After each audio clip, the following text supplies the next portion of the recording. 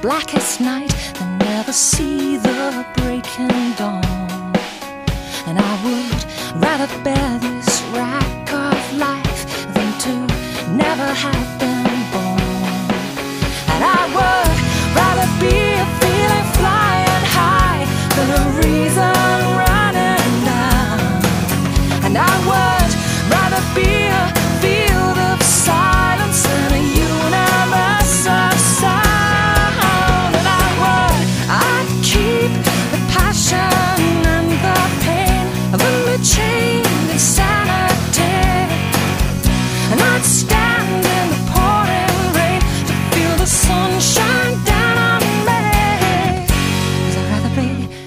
to be.